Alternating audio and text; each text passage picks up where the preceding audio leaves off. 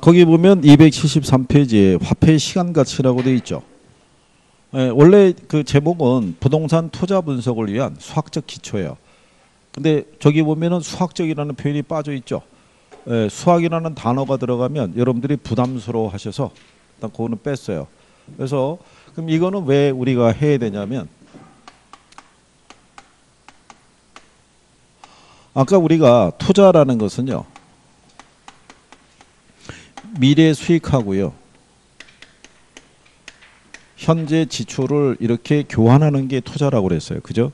예. 근데 투자하는 시점은 언제냐면 현재예요. 그죠? 근데 수익이 발생하는 시점은 언제예요? 미래가 되죠. 그러면 현금 흐름이 발생하는 시점이 서로 다르다는 얘기죠. 그죠? 음. 근데 투자의 결정은 언제예요? 현재 하죠. 그러면 서로 다른 시점에서 발생하는 현금 흐름을 동일한 시점을 기준으로 판단할 수 있어야 돼요. 그죠? 그럼 예를 들어서 여러분들이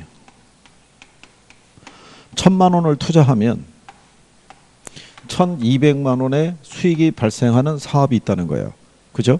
그러면 투자해야 하네요. 천만 원 투자하면 천이백만 원의 수익이 발생하는 사업이 있대요. 투자할까요, 안 할까요? 네? 이때 우리가 이제 투자 여부를 결정할 때는 일단 이자율이 얼마인지를 봐야 돼요. 만약에 시장 이자율이 10%잖아요. 예, 그러면은 투자를 생각해 볼 수 있어요. 천에 10%면 1100인데 1200의 수익의 흐름이 나오니까.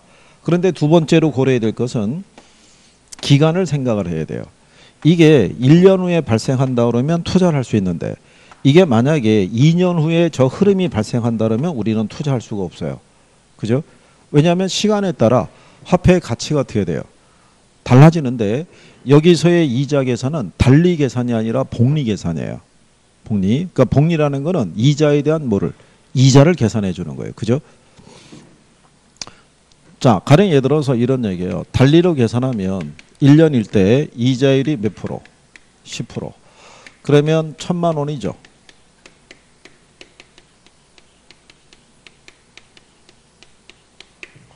천만 원에 대한 이자율 10%니까 천에 10%면 얼마겠어요? 100만 원이잖아요. 그러면 천만 원에다 이자 합하게 되면 얼마가 돼요? 그러면 달리로 계산하게 되면 2년 차에 계산해도 똑같은 조건이에요. 무슨 말인지 아시겠나요? 원금에 대해서 이자가 한 번씩만 지급이 되기 때문에 이자에 대한 이자를 고려하지 않는 거예요. 근데 복리 계산을 하면 어떻게 되겠어요? 이자에 대한 이자를 같이 계산해 주는 거예요. 그러면 1,100만 원에 대한 이자율 10%니까 얼마 나오겠어요? 110만 원 나오죠. 그럼 두 개 합하게 되면 1,210만 원이잖아요. 그렇죠? 근데 얘가 1,200만 원이 2년 후에 1,200이라는 우린 투자할 수가 없죠. 이건 달리 계산이니까. 그러니까 무슨 계산을 한다는 얘기예요? 복리 계산을 한다는 얘기예요. 그죠? 네, 그랬을 때 여기 보는 이 천만 원이라는 게 천백만 원이라는 게 결국은 원금을 나타내는 거죠. 그렇잖아요. 근데 계속 여기다가 천만 원, 천백만 원 쓰는 게 번거롭잖아요. 그렇죠? 그래서 우리가 원금을 다 일로 표시하는 거예요. 뭐로 표시한다고요? 일로. 이 앞에 백만 원이 붙어도 백이 되겠죠. 천만 원이 붙어도 천만 원 나오겠죠. 그래서 전 세계 공통적으로 계산상의 편의를 위해서 원금을 표시하는 것은 일로 나타나는 거예요. 일로. 그리고 이자율을 표시하는 게 뭐겠어요? R이에요. 그리고 기간을 나타내는 게 뭐다? N이라고 얘기를 해요. 그래서 이게 바로 뭐 나타내냐면 이게 내가 개수라고 그래요. 일시불의 내가 개수라고 그래서요. 여기에다가 현재 가치에다가 여기 있는 내가 개수를 곱하게 되면요. 그러면 무슨 가치를 구할 수 있다? 미래 가치를 구하는 거예요. 요 미래 가치를 다시 여기 있는 요 개수로 할인을 하면은 다시 무슨 가치를 구할 수 있다? 현재 가치를 구할 수 있어요. 그래서 무슨 말인지 이해하시겠나요? 여기다가 그래서 R은 뭐를 가리킨다? 이자율, 이자율. N은 뭐를 가리킨다? 기간을 가리키는 거예요. 기간을. 그래서 이제 용어에 대해서 이제 그렇게 알아두시면 되고요. 그 다음에 여기서 보면은 우리 교재 화폐 시간 가치 개수라고 돼 있죠. 그 우리가 자본환원 개수라고 얘기를 해요. 아, 이 자본환원 개수를 보게 되면 미래 가치를 구하는 개수가 세 가지가 있고요. 현재 가치를 구하는 개수가 세 가지가 있어요. 그래서 이게 일시불에 다 풀어서 쓰면은 이렇게 나오는 거예요. 일시불의 미래 가치 개수인데 줄여서 그냥 내가 개수라고도 얘기를 해요. 무슨 개수다? 내가 개수 또는 일시불의 내가 개수 이렇게도 얘기를 해요. 그 다음에 연금의 내가 개수 그러면 연금의 미래 가치 개수를 줄여서 무슨 개수로? 연금의 내가 개수라고 이렇게 얘기를 해요. 또는 줄여서는 연내 개수 이렇게도 얘기를 해요. 그 다음에 감채 기금 개수라고 있어요. 그 다음에 현재 가치를 구하는 게 또 세 가지가 있어요. 그래서 여기 보면 얘가 일시불에 현재 가치 개수를 얘기하고요. 그 다음에 연금의 현가 개수라는 것은 연금의 현재 가치 개수를 줄여서 연금의 현가 개수 또는 연연 개수라고도 얘기를 해요. 그 다음에 음, 저당 상수가 있어요. 그래서 각각 세 가지씩 있어요. 근데 여기 있는 이 자본하는 개수에서는요. 뭐를 알면 되냐면 개념, 역수, 그 다음에 개수를 구별할 수 있으면 되는데 개수를 구별하는 건 아직 시험에 나온 적은 없어요. 근데 가장 많이 활용하는 게 역수관계하고요. 개념을 알고 있느냐를 물어봐요. 그거는 정리가 좀 되셔야 돼요. 그러면 아, 일시불의 미래가치 개수가 있어요. 그죠? 얘는 1 플러스 R의 N승으로 표시하고요. 일시불의 현가 개수는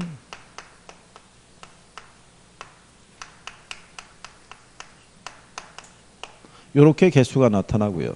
얘는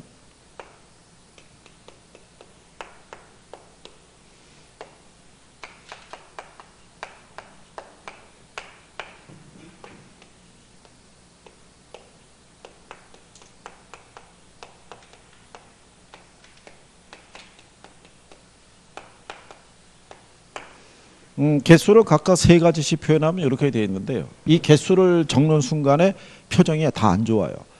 어, 이게 원래 계산하려고 그러면 옛날에 학창시절에 배웠던 등비수열을 알아야 돼요.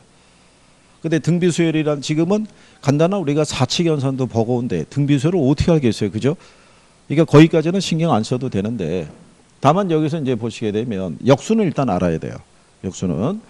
그러면 일시불의 미래가치 개수하고 역수는 얘가 돼요. 일시불의 뭐 현재 가치 개수. 역수라는 건 그 수를 일로 나눈 걸 얘기를 해요. 그죠? 여기 보시게 되면 여기 분의 1이고 여기는 마이너스 n 승이죠. 예, 여기서 요 마이너스의 보를 없애려고 그러면 얘를 분수로 바꿔야 돼요. 식을. 그러면 마이너스의 보가 사라지는 거예요. 이게. 그래서 마이너스의 보가 들어가 있다고 보시면 되겠고 연금의 내가 개수하고 의 역수는 얘가 되는 거예요. 감채 개수가. 그 다음에 연금의 현가 개수의 역수는 뭐가 된다? 저당 상수가 된다는 것을 일단 기억을 해야 돼요. 기억을. 그리고 이제 여기서 용어를 보시게 되면 일시불이라는 것도 있죠. 일시불. 일시불이라는 것은요. 금액이 한 번만 표시가 되는 거예요. 여러분들이 만약에 1억 원을 갖다가 은행에다가 예금하죠. 그죠? 그러면 얘가 3년 후에 그죠? 얼마가 될까? 이자 포함해서. 그럴 때 여기 우리가 예치한 금액은 얼마밖에 없어요. 1억 원 하나밖에 없죠. 그러니까 현재 1억 원에 1원에 이런 논리가 들어갈 때 하나만 금액이 표시가 될 때는 일시불로 얘기해요. 근데 여기 보면 뭐라고 돼 있어요? 연금이라고 돼 있죠.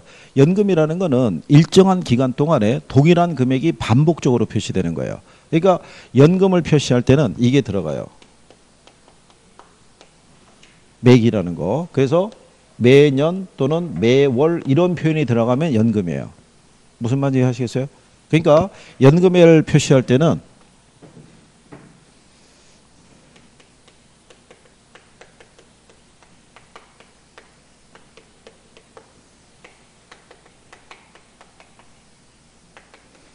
아까는 1억 원을 갖다가 예치했을 때 3년 후에 얼마가 되냐 이걸 물어봤는데 여기는 매년 얼마씩 천만 원씩이죠. 그러니까 일정한 기간 동안에 같은 금액이 반복적으로 표시가 되는 것들을 뭐라고 얘기를 해요? 그를 연금이라고 얘기하는 거예요. 그러니까 연금을 표시할 때는 매라는 표현이 들어간다 안 들어간다? 들어간다는 얘기예요. 그죠? 그래서 이제 그 내용에 대해서 음, 그래서 여러분들이 275페이지 가 보시면요.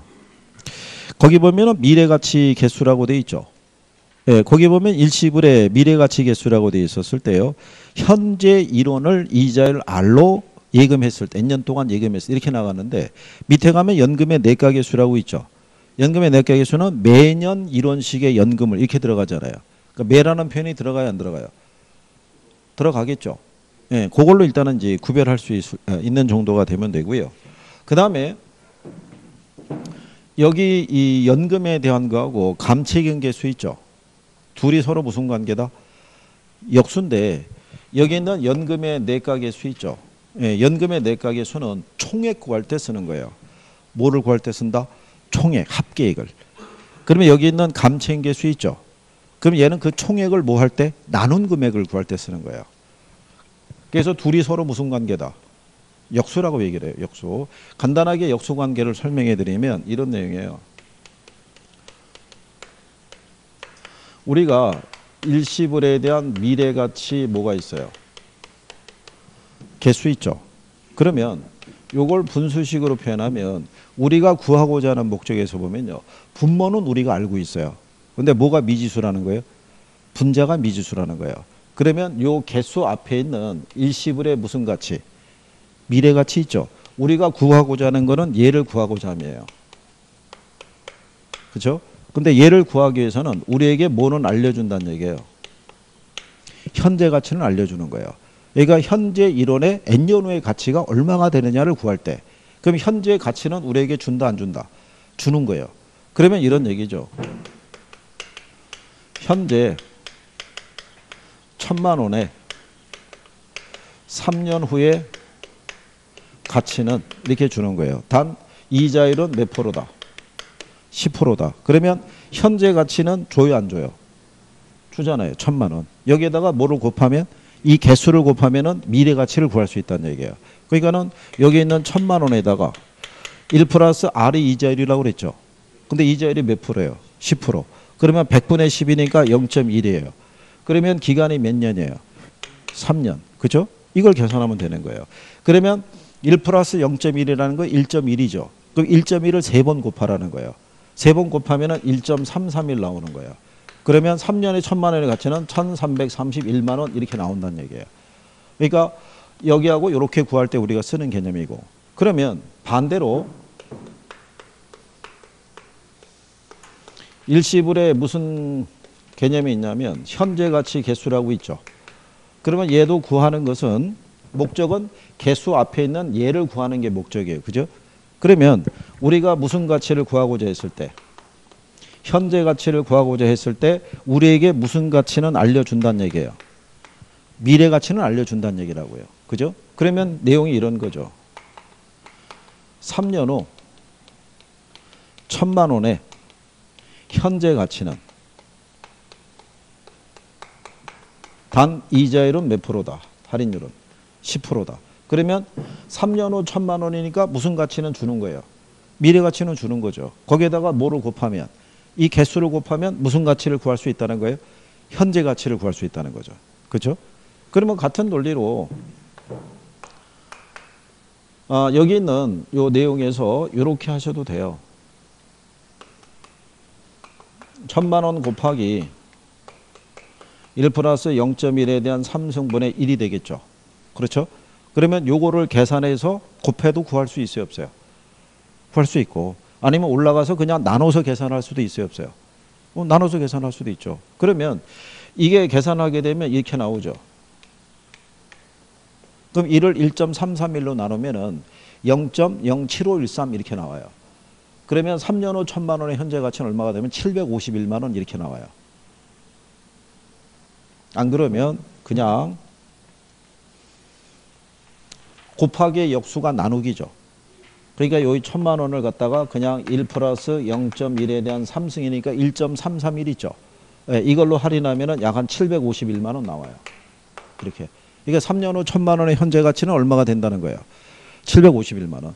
그래서 얘하고 얘하고는 둘이 서로 무슨 관계다? 역수 관계라는 거예요. 무슨 관계?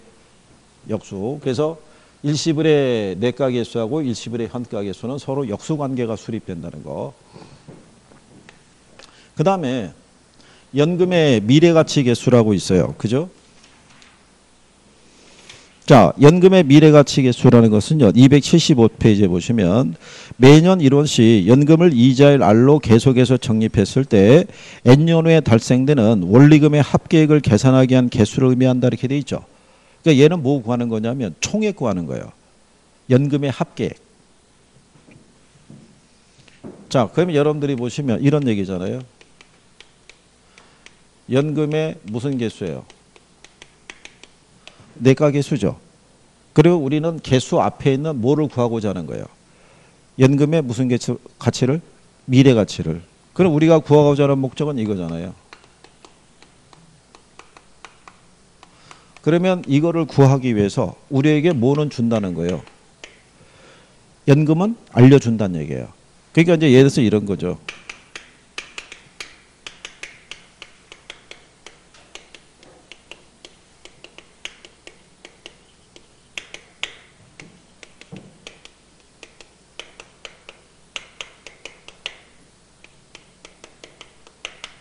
이렇게 주는 거죠. 매년 얼마씩.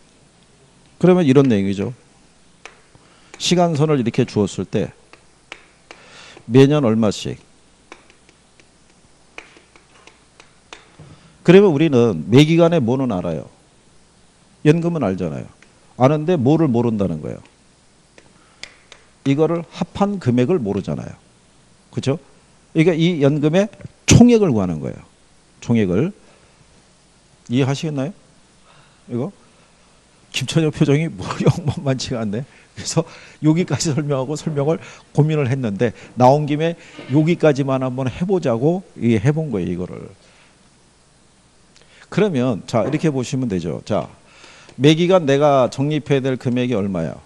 천만 원이죠. 그럼 여기에다가 뭐를 곱하는 거예요? 내가계수를. 그럼 내가계수를 곱할 때 연금의 내가계수가 이렇게 돼 있잖아요. R분의 1 플러스 R에 N승 마이너스 1이잖아요. 그죠? 네, 그렇게 계산할 때 얘를 다시 풀어주게 되면 이자율이 몇 프로냐면 10%잖아요. 그러면 얘가 0.1이겠죠. 그러면 1 플러스 0.1에 대한 3승이죠. 3년이니까. 그러면 1 플러스 0.1의 3승이 아까 얼마라고 그랬어요? 1.331이잖아요.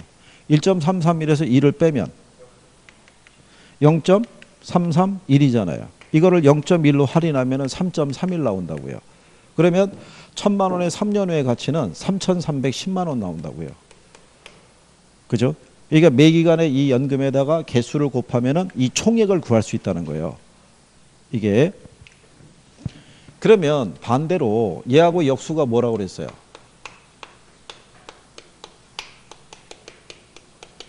그러면 우리가 구하고자 하는 게 개수 앞에 있는 뭐를 구하고자 하며요?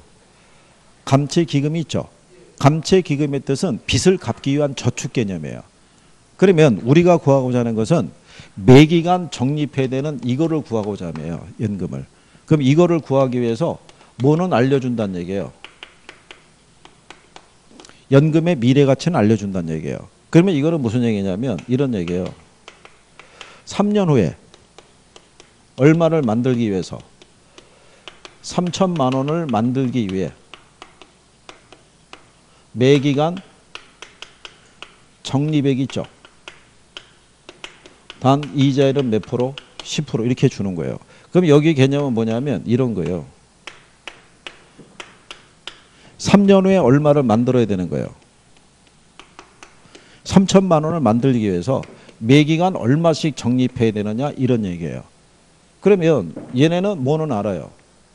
매기간 적립한 금액을 알죠. 이 합계를 모르는 거잖아요. 근데 얘는 그 합계를 알아요, 몰라요? 합계를 알잖아요. 아는데 이 돈을 나눈 할부금을 구하는 개념이라고요. 그래서 연금이 들어간 애들은 총액 구하는 거예요. 무슨 말인지 아시겠나요? 감채인계수하고 저당상수는 그 총액을 나눈 할부금을 구하는 개념이에요. 그러니까 여기에다가 이거를 그래서 얘네들이 보면 역수잖아요. 분모하고 분자가 어떻게 돼요? 바뀌어 있잖아요. 저기 개수를 보더라도 반대잖아요. 그렇죠? 그런 논리예요. 이게 할 때. 근데 이거를 가지고 계산을 뭐 복잡하게 유도하거나 그러진 않아요. 계산까지 뭐 해줄 건 없는데 최소한 일단 뭐는 알아야 되냐면 역수는 알아야 돼요. 뭐는 알아야 된다고요? 역수는 잘 물어봐요. 역수는 그래서 역수는 알아야 되고 그러니까 여기는 아직은 여러분들이 받아들이기에는 내공이 조금 부족한 거예요. 그러니까 조금 지나서 한두 번 또 돌면은 선생이 무슨 얘기를 하더라도 절대로 놀라지 않아요. 여기서 자 그러면 그거만 일단 뭐는 알아두셔야 되냐면요. 거기 277페이지 가시면 중간에 양가로 3번에 저당상수라고 돼 있죠. 저당상수. 저당상수에 보면 원리금 균등 상환 조건으로 일정액을 빌렸을 때 매 기간 말에 갚아야 할 원금과 이자의 합계를 구할 때 이용하는 개수라고 돼 있죠. 그러니까 여기 있는 저당상수라는 것은요. 원리금 균등 상환 방식 있죠. 금융에서 했던 거. 여기서 뭐 구할 때 쓴다. 원리금 구할 때 쓰는 거예요. 뭐 구할 때 쓴다? 원리금 원리금.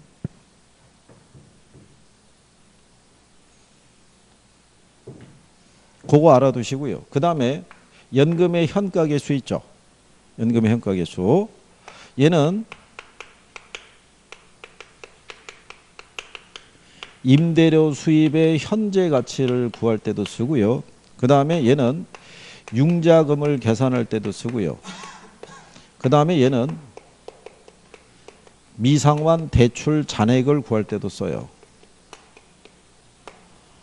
이게 여러분 시험에 음, 이거는 다 출제를 한 거예요. 연금의 현가계수라는 건 무슨 얘기냐면요. 간단하게 말씀을 드리면 여러분들이 어, 임대차 계약을 체결할 때 있잖아요.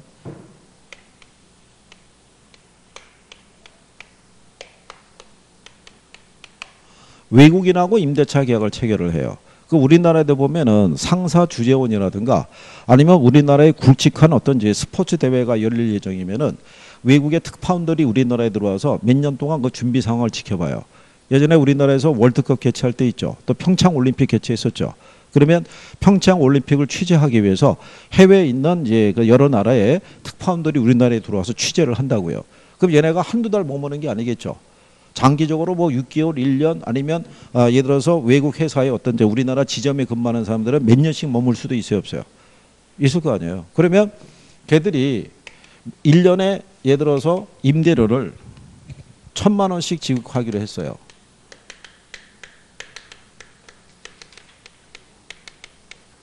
그럼 총액이 얼마예요? 이게 5천이겠죠. 근데 이거는 미래의 그 흐름이잖아요. 이거를 임대차 계약을 체결할 때 이거를 일시불로 받는 거예요. 무슨 말인지 아시겠어요? 외국인들은 패스포트가 있잖아요. 여권이. 그러니까 얘네가 임대차 하다가 임대료 체납한 상태에서 공항에 나가서 비행기표 티켓팅 해갖고 그냥 출국하면 그만인 거예요. 막을 방법이 없잖아요. 그러니까 이렇게 장기간 머무는 사람들에게는 이런 식으로 임대차 계약을 체결할 때 일시불로 계약을 할 수가 있다고요. 그럴 때 뭐를 써서 구한다는 얘기예요? 연금의 현가계수를 구해서 쓰는 방법이에요. 그래서 임대료 수입의 현재 가치를 구할 때 뭐를 쓴다? 연금의 현가계수를 쓴다라고 생각하시면 돼요. 여기서 이거는 왜 얘기해 주냐면 이거 금융위 가면 또 해야 되니까 금융위 가면 그래서 뭐 그런 정도라고 보시면 돼요. 그래서 어, 그리고 277페이지 가시면요 거기 하단에 잔금 비율하고 상환 비율이라고 돼 있죠. 네? 잔금 비율하고 상환 비율. 그것도 간단하게 설명해 드리면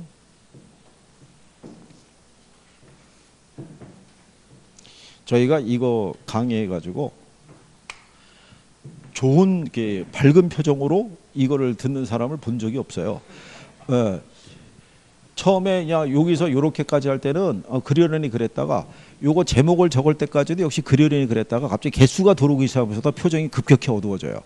그 다음서부터 이거 설명을 해주면은 설명을 받아주기가 힘든 거예요 처음에. 그게 특히 왜 그러냐면 투자를 해서 앞에서 힘들게 간신히 포트폴리오까지 어떻게든 끌고 왔는데 갑자기 얘가 들어오니까 당황하는 거예요. 이건 또 뭐지 이렇게 되는 거예요. 나오면 한 문제, 나오면 한 문제. 매년 나오진 않아요. 근데 근래는 이쪽에서는 주로 계산 문제가 나오고 있어요. 그래서 자 그래서 이제 어, 거기 보시면 이제 잔금 비율이라는 게 있고요.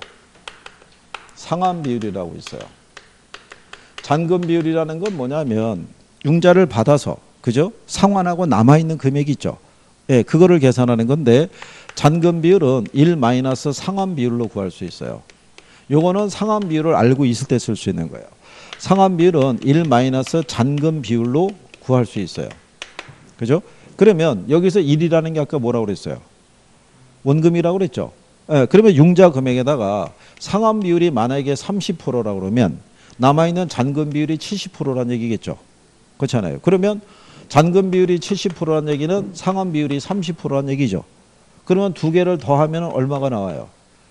1이 나오는 거죠. 그러니까 잔금 비율과 상환 비율을 합하게 되면 그게 융자 총액이 되는 거예요.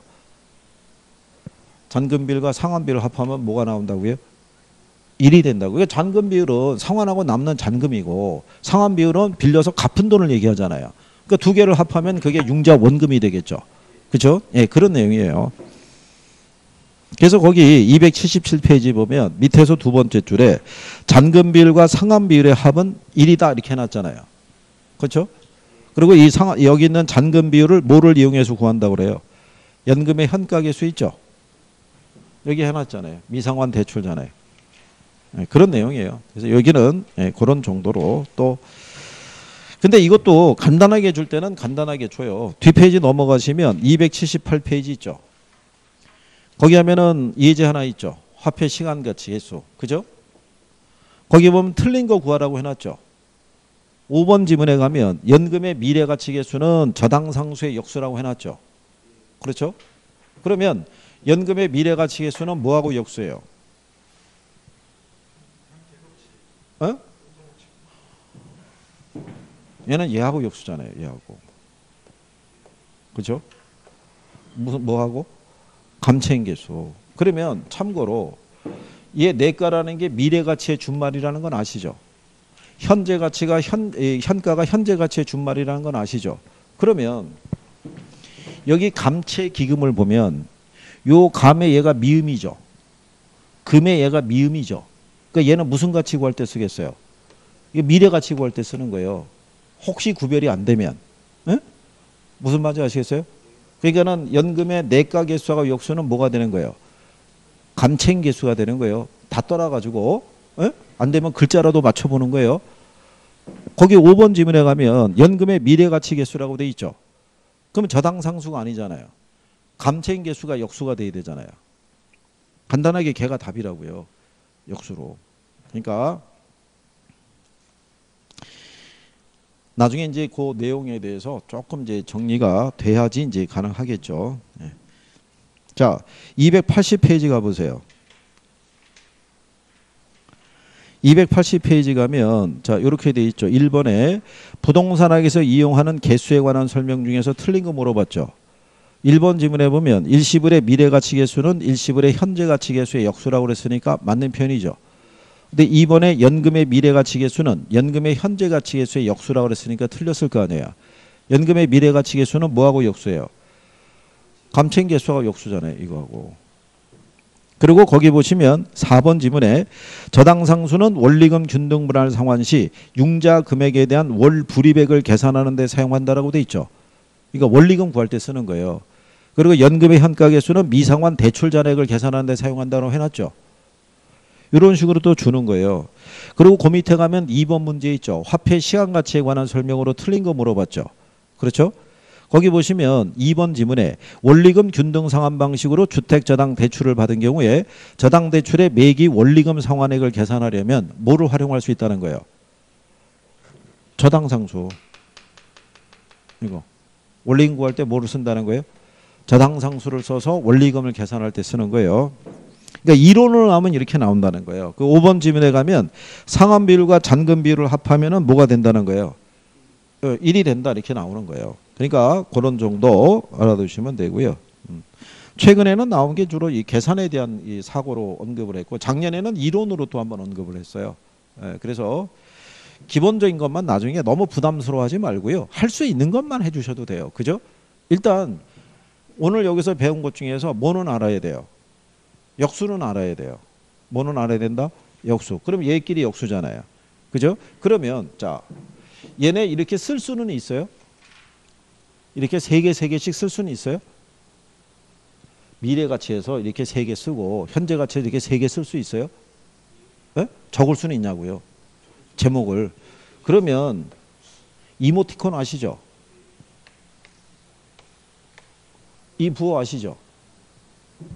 얘들끼리 역수고 얘들끼리 역수라고요. 무슨 말인지 알겠어요? 어? 안 되면 이거라도 해주는 거예요?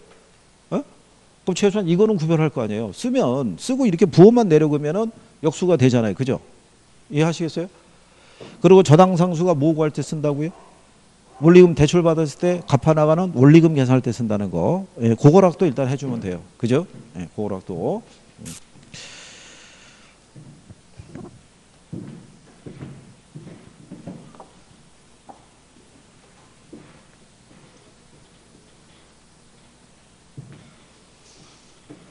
이게 이제 그 처음에 하실 때는 다 생소한 거예요. 이게 지나면 조금씩 낮아지는 거예요. 이게 3월에 들으면 또 낮고요. 5월에 들으면 또 낮고 7월에 들으면 더 낮아지고 이러는 거예요. 그래서 용어에 익숙해지는 거예요. 익숙해지는 거예요. 그리고 얘들을 모른다고 해서 시험에 떨어지거나 그러진 않아요. 그러니까 뭐 크게 낙담하거나 그러실 필요는 없어요. 그죠? 예전에 그 이거를 어 어떤 그 선생님이 등비 수요를 대입해서 이거를 다 도출하는 식을 한번 설명해 준 사람이 있었어요. 쫙 계산해 가지고 그러면 칠판에 면이 가득 메워질 거 아니겠어요? 다 도출한 다음에 한마디를 던지는 거죠. 근데 시험에는 안 나옵니다. 그러면 학생들이 얼마나 허탈하겠어요. 그죠? 네, 그래서 그 이후로는 언급이 안 되니까 뭐 하시면 되고. 그다음에 페이지 넘기셔서 282페이지 가면 현금 수지 측정이라고 돼 있는데요. 음, 여기서부터가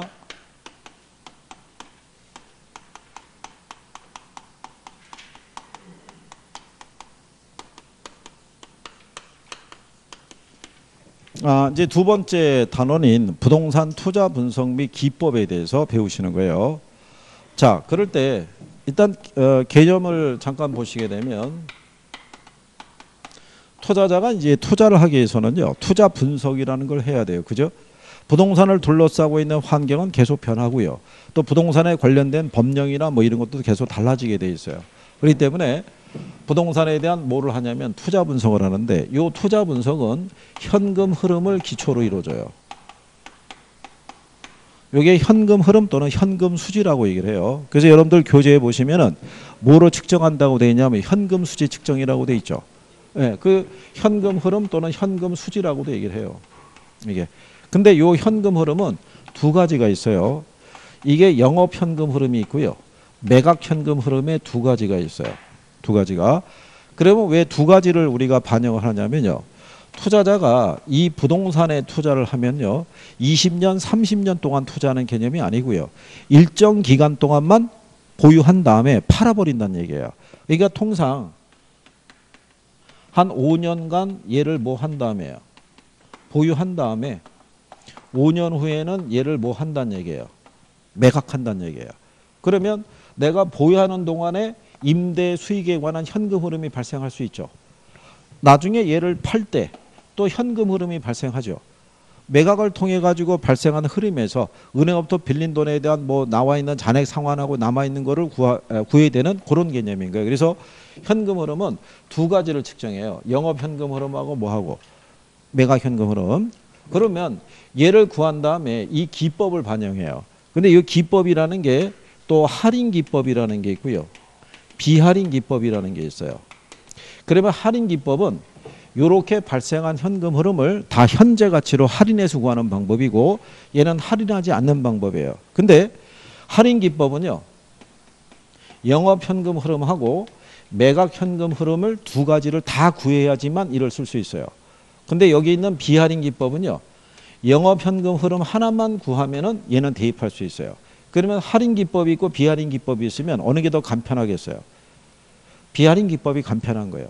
그렇죠? 그런데 여러분 시험에는 할인 기법이나 비할인 기법이나 다 출제는 해요.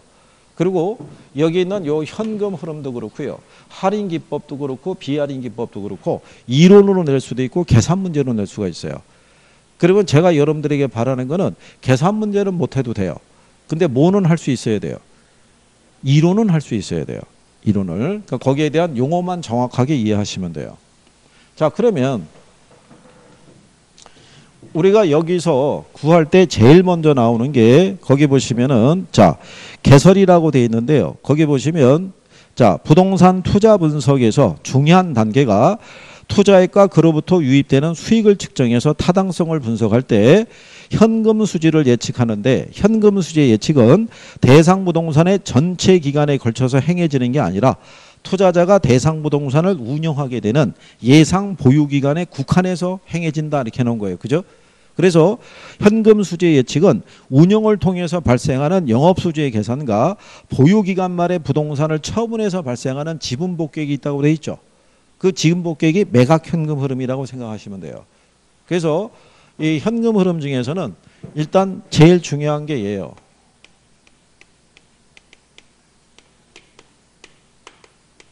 이거를 영업 현금 흐름이라고 출제할 때도 있고요.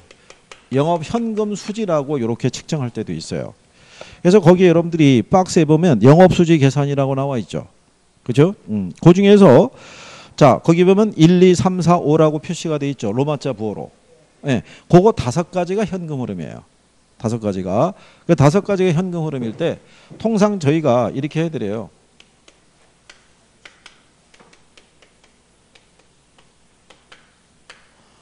글자를 따면은 가유순 전후가 나오는 거예요. 그죠? 그래서 가가 뭐 얘기하는 거예요? 네, 가능 총소득 얘기하고요. 유가 뭐 얘기한다? 유효 총소득 얘기하고요. 이게 순 영업소득 얘기해요. 그리고 얘가 세전 현금 수지 얘기하고요. 얘가 세후 현금 수지를 얘기를 해요. 요게 다섯 가지가 현금 흐름이에요. 그죠? 그리고 지난번 어, 여기 지난번에 설명했었죠. 거기 보시면 가능 총소득이 있죠. 282페이지 하단에 가면 가능 총소득이라고 있죠. 근데 가로 열고 가능 조소득이라고 얘기를 하죠. 지난번에 설명한 거예요. 총이라고도 할 수도 있고 뭐라고도 얘기할 수 있어요. 조라고도 얘기할 수 있는 거예요. 총이라고 얘기하는 거는 영문상에서 그로스라는 의미는 마이너스의 의미가 내포되어 있다는 얘기예요. 그죠? 그러니까 가능 총소득에서부터 공제할 게 있다는 얘기예요. 그래서 원칙적으로 여기서 이제 빼게 되면요. 이렇게 해줘요.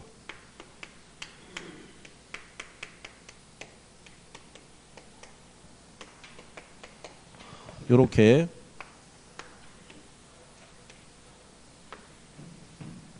그래서 가유순 전후 공경부소 하면은 식이 완성이 되는 거예요. 무슨 말인지 아시겠나요?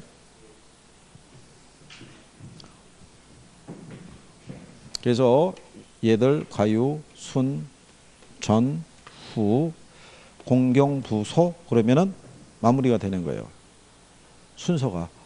근데 요 순서를 알아둬야 돼요. 물어보니까. 그렇죠? 그러면 저 하나씩 이제 용어를 용어를 정확하게 이해하시면 돼요. 그죠? 가능 총소득이라는 거 뭐를 가능 총소득이라고 그랬어요? 가능 총소득.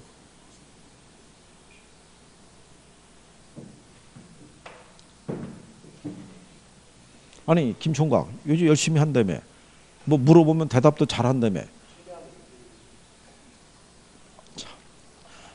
김천엽 시간 있어?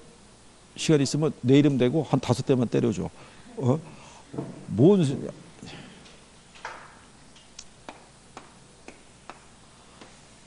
여기 예를 들어서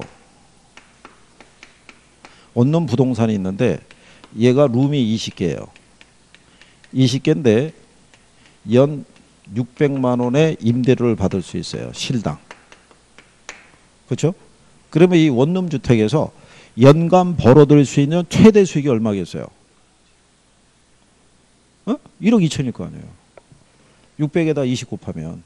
그렇죠? 그러니까 여기는 가능 총소득이라는 것은 김총각. 가능 총소득이 뭐라고? 어? 1년간 벌어들일 수 있는 최대한의 임대 수익을 얘기하는 거야. 1년간. 이 부동산을 통해서. 얘는 지금 임대를 줄 수 있는 게 20개 룸밖에 없잖아요. 이게 20개 룸을 100%뭐 했다고 가정할 때 임대를 준다고 가정했을 때 벌어들 수 있는 최대한의 수익을 뭐라고 그런다? 가능 총소득인 거예요. 연간 최대 수익을. 그래서 얘가 1억 2천이라는 거예요. 이렇게. 그런데 실제로 부동산이 100% 점유가 된다라고 보장할 수는 없어요. 뭐가 발생할 수 있다는 거예요. 공실이 발생할 수 있다는 거예요. 그죠? 그러면 공실로 인한 손실은 임대업자 입장에서는 복구가 안 돼요. 그렇죠? 그리고 공실에다가 뭐를 감안하냐면 대손 충당금이라고 해놨죠. 그럼 우리가 공실 및 대손 충당금이라고도 얘기를 하고요. 공실 및 불량부채라고도 얘기를 해요.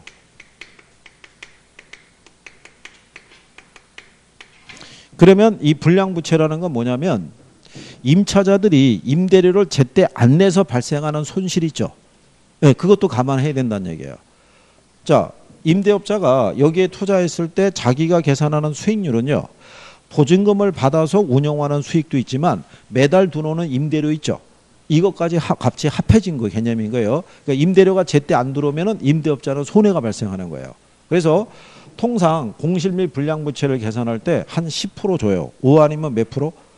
10%. 그러면 1억 2천에 가령해서 10%를 주면은 얼마 나오겠어요? 1200 나오죠. 그런데 여기서의 기타 소득이 있죠. 예, 기타 소득이라는 거는 영업의 수익인 거예요. 그러니까 주차장을 운영해서 발생하는 수입이나 자판기 설치해서 운영하는 수입이나 아니면은 미국 같은 경우에는 이 주택 지하에 코인식 세탁룸이라고 있어요. 왜 요즘 동네 가게 되면은 뭐 크린토피아에서 동전 500원짜리 집어넣어서 세탁하는 것 있죠. 예, 그런 거를 설치해 가지고 이 수익을 내는 그런 예, 주택도 있다고요. 근데 매번 그런 주택이 다 있는 게 아니기 때문에 여기 있는 이 기타 수익은 들어올 때도 있고 생략될 때도 있는 거예요. 근데 걔가 만약에 들어온다는 얘기는 금액을 조정하기 위해서 들어오는 거예요. 만약에 1억 2천에서 1200을 빼면은 얘가 얼마 나오겠어요? 1억 800이 나오면 여기에다가 경비가 만약에 유효 총소득 대비 25% 그러면 암산으로 계산하기 힘들어요. 그렇잖아요. 그러니까 여기다 기타 소득을 1200을 플러스를 해주면 플러스 마이너스 제로니까 얘가 다시 1억 2천이 되겠죠. 왜? 그런 과정에서만 잠깐 들어올 때가 있어요. 생략되는 경우가 많아요. 그러면 유효 총소득에서 여기 보면은 이제 영업 경비라고 있어요.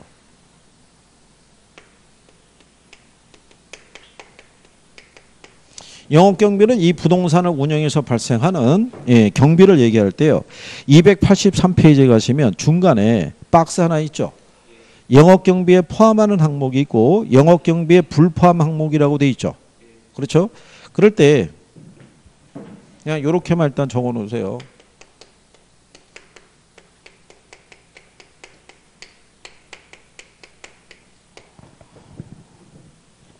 이 이제 우리가 학개론을 공부한 소감을 소개한다라고 생각하시면 돼요. 요즘은 여기까지 나오니까 여기서 공이 뭐냐면 공실이 있죠. 네, 여기서 했기 때문에 여기서는 경비로 공제하지 않고요. 부가 뭐 얘기하냐면 여기 있는 이 부채 서비스 얘기예요. 여기는 경비를 제외한 순 영업소득으로 지불하는 거예요. 그러니까 경비에는 반영하지 않아요. 그 다음에 여기 있는 소라고 돼 있죠. 예, 소가 뭐 얘기하냐면 영업소득세 얘기예요.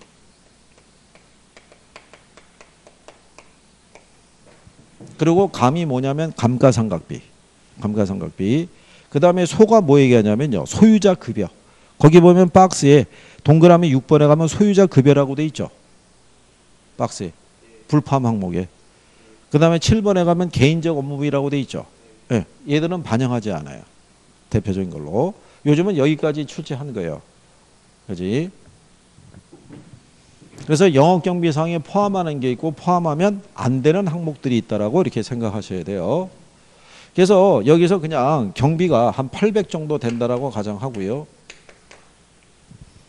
공제하면 남는 게 뭐가 되겠어요? 순영업소득이 돼요. 그러니까 요게 어, 공실하고 경비를 제외하고요. 순수하게 귀속되는 수익이 이제 순영업소득인데 참고로 요걸 보시게 되면 이 원룸의 가치가 가령 예를 들어서 10억이에요. 10억인데 요 중에 6억은 융자를 받았고요. 이자율 5%로 그 다음에 4억은 내가 지분 투자했어요. 구성이 그러면 여기서 발생하는 가능 총소득, 유효 총소득, 순영업 소득이 있죠. 네, 이거는 내 돈만 들어가서 발생한 수익이 아니고요. 은행으로부터 빌린 돈 있죠. 요까지 같이 투자가 이루어져서 발생한 소득인 거예요. 그래서 얘네들은 세 가지가 무슨 투자의 기준에서 발생한 소득이냐면 총 투자액을 기준으로 발생한 이 현금 흐름인 거예요. 요거 세 가지가 그러면 여기 있는 요 순영업 소득 있죠. 요거 가지고 내가 융자를 받았으면 여기에 대한 원리금을 상환해야 되겠죠. 그래서 순영업소득에서 뭐를 공제하냐면 부채 서비스액인데 부채 서비스액은 융자를 받았을 때 갚아나가는 원금과 이자의 합계를 뭐라 그런다. 부채 서비스액이라고 얘기를 해요. 부채 서비스액. 그러면 요 부채 서비스액은 누가 가져가겠어요? 융자를 받았는데 농협에서 받았대요. 그렇죠? 그러면 여기 있는 부채 서비스액은 농협에다가 지불해야겠죠. 그러니까 여기서 농협의 임무가 역할이 뭐냐면 저당 투자자라는 거예요. 돈을 빌려준 사람. 그러면 여기서 발생하는 순영업소득 가지고 저당 투자자하고 지분 투자자가 나눠 갖는 거예요. 그러면 여기서 아, 6억에 5%니까는 얼마 빼줘야 돼요? 3천만 원 빼줘야 돼요. 이자만 계산한다 그래도. 그러면 남는 게 얼마겠어요? 7천만 원 나오겠죠. 여기서부터가 지분에 대한 대가예요. 뭐에 대한 대가다? 지분. 4억 투자한 것에 대한 대가라는 거예요. 요것도 시험에서 나오는 거예요. 구별을 해야 돼요. 나중에. 여기서 이제 뭐 계산하냐면 영업소득세를 계산해야 돼요. 그러면 영업소득세를 계산하는 거는요. 뒤로 넘어가시면 284페이지에 상단에 가면 영업소득세 계산한다고 돼 있죠. 영업소득세. 네, 그래서 이 영업소득세를 계산할 때는요. 아, 주로 이제 순영업소득을 기준으로 물어보는데 거기 보면은 순영업소득이나 세전현금 수지나 대체충당금이 다 들어가 있죠. 근데 실전에서는 대체충당금은 표시하지 않고요. 걔는 생략하고 그냥 이자하고 감가상각분만 계산하라고 얘기를 해요. 나중에 이거는 계산할 때 우리가 정리해 드리는데 그래서 영업소득세 이해를 구하기 위해서 여기 보시면 영업소득세가 그냥 한 2천이라고 가정하자고요. 그러면 세후 현금 수지가 얼마 나오냐면 5천만 원 나오겠죠. 요렇게 해가지고 영업 현금 흐름만 구해서 판단하는 방법이 그게 비할인 기법이에요. 무슨 기법이 있다? 비할인 기법. 매각 현금 흐름까지 계산하는 것은 할인 현금 수지 분석법이라 그건 할인 기법이 있어요. 그래서 여러분들이 그 287페이지 가 보시면 1번에 이렇게 돼 있죠. 에, 다음에 가로 안에 들어갈 내용으로 옳게 나열된 거 이렇게 물어봤죠. A, B, C. 그러니까 당연히 뭐겠어요? 가유순이겠죠. 그렇죠? 음. 그렇게 나오는 거예요. 그렇게. 자, 그래서 여기에 대한 거를 감안해서 뒤에 가면은 계산 문제 있고 그런데 그는 지금 참고하셔도 되고 뒤로 넘어가시면 293페이지 있죠. 거기 가면은 투자 분석 기법이 나오죠. 예, 그러면 할인연금 수지 분석법이라고 나오죠. 예, 그거 있고요. 뒤로 넘기시면은 300페이지 가면은 어림셈법이라고 나와 있죠. 네, 고기를 이제 먼저 해보는 거예요. 어림셈법. 어림셈법이 비할인 기법이에요. 그 걔는 요것만 구하면은 풀 수 있는 방법이에요. 요것만. 네, 그래서 잠깐 쉬었다가 고기 하는데 요거는 안 지워도 돼요. 네, 이거 지우면은 힘들어요. 이거 다시 쓰려고 그러면 시간 많이 걸리는 거예요. 이거 이거 그냥 그대로 두고 잠깐 쉬었다가 오늘은 어림셈법을 가지고 정리를 해보고요.